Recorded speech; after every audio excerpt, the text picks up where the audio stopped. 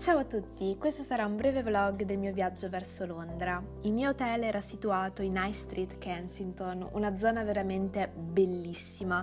Ho amato gli edifici, le persone, quello che c'era intorno, i paesaggi, era veramente un'atmosfera fantastica e ci tornerei subito.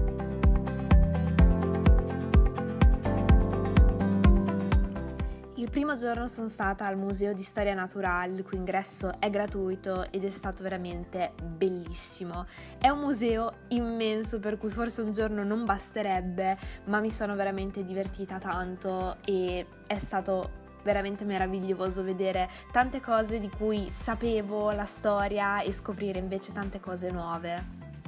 Subito dopo sono stata al Museo della Scienza, un altro museo molto interessante, ma ero troppo stanca per apprezzarlo appieno. Comunque mi sono divertita tanto, soprattutto perché è ricco di parti interattive, tipo quiz e cose di questo tipo.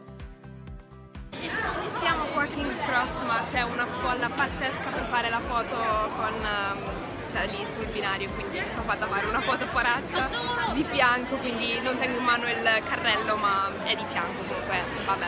Però siamo stati anche qua allo shop, se sono troppo bassa non si vede, la gente mi vede troppo male, quindi ciao!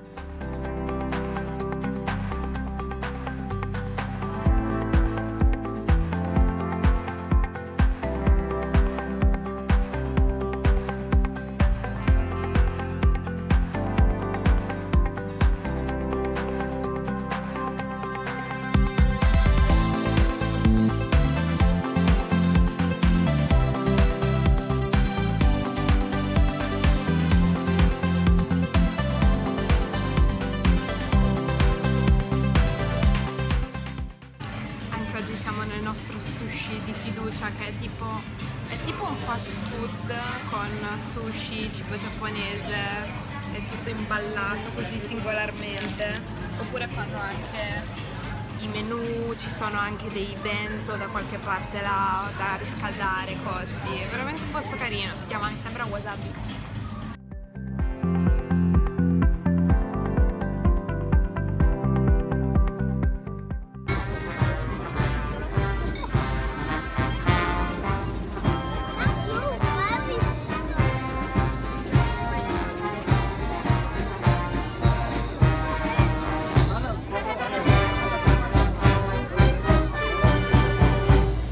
Cose forse più divertenti di questo viaggio è stato andare a caccia di scoiattoli nei vari parchi in cui sono stata, in particolare a Kensington Gardens che era molto vicino all'hotel, ho fatto amicizia con Reginaldo, questo scoiattolino mangia mandorle.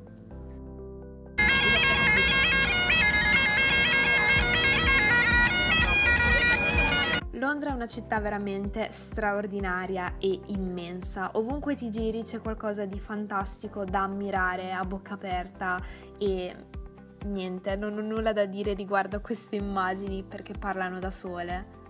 Alla National Gallery ho potuto ammirare diversi quadri di Monet, uno dei miei pittori preferiti in assoluto. E poi per le strade di Covent Garden ho trovato inaspettatamente un monumento dedicato ad Agatha Christie, una cosa veramente bellissima.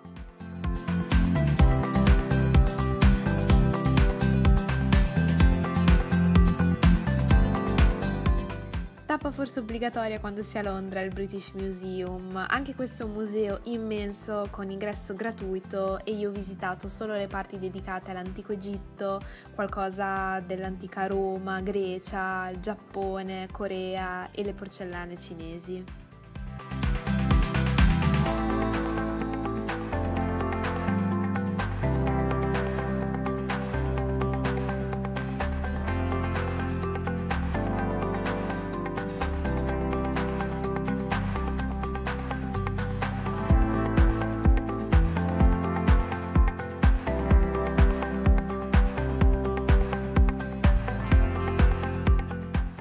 Oggi è stata una giornata veramente lunghissima, dopo il British Museum siamo stati al museo di Sherlock, tra l'altro il biglietto che danno è una specie di... ops, è una specie di opuscolo disponibile in varie lingue che racconta alcune curiosità, quindi mentre eravamo in fila, perché c'era una fila interminabile, abbiamo letto un po' di curiosità appunto su, su Sherlock. È stato veramente molto interessante, anche se un tantino caro.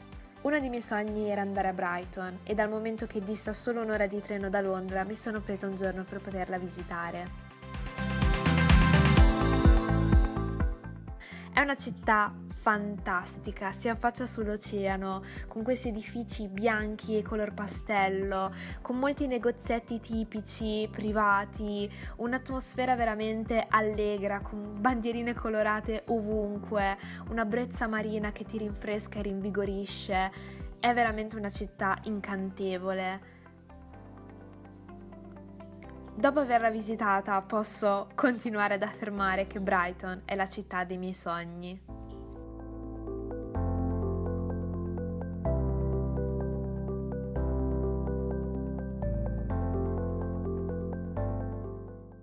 ultimo giorno qua a Londra ed è cattivo tempo, cioè finora è sempre stato bello, sempre sole, sempre caldo, oggi che è l'ultimo giorno fa freddissimo. Ultima tappa del mio viaggio, l'acquario, un ambiente in cui mi sono sempre sentita a casa perché amo i pesci, amo l'acqua, il mare, tutte le sue creature. È un ambiente fantastico. Questo viaggio in generale è stato veramente magnifico, una delle cose più belle che mi potesse capitare. Mi ha permesso di scoprire una città nuova, mi ha fatto innamorare di una città che già sognavo e non vedo veramente l'ora di ritornarci.